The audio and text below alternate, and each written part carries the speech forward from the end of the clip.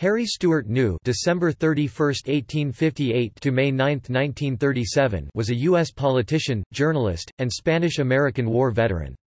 He served as chairman of the Republican National Committee, a United States Senator from Indiana, and United States Postmaster General.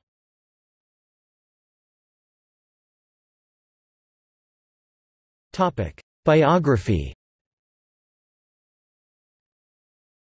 Harry Stewart New was born in Indianapolis, Indiana on December 31, 1858, the son of John C. New and his wife, Melissa Beeler New.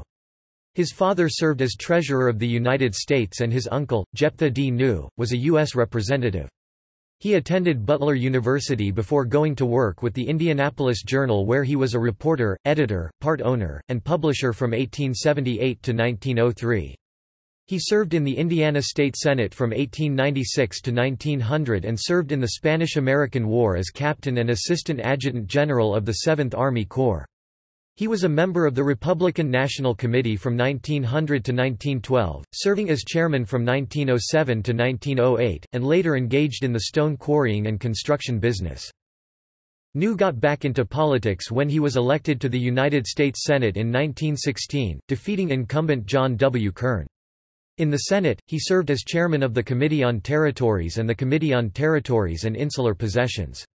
He was also a «wet» or an anti-prohibitionist, and in August 1919 introduced early legislation proposing an independent United States Air Force. In late March 1922, New became the first senator to use radio in his campaign. At that time, broadcasting a political speech was not widely done by candidates.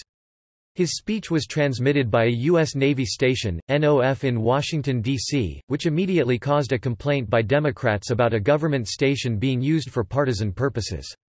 This in turn quickly led to a ban on further use of the station for political activities. New was defeated by Albert J. Beveridge for renomination in 1922 who lost the general election to Samuel M. Ralston.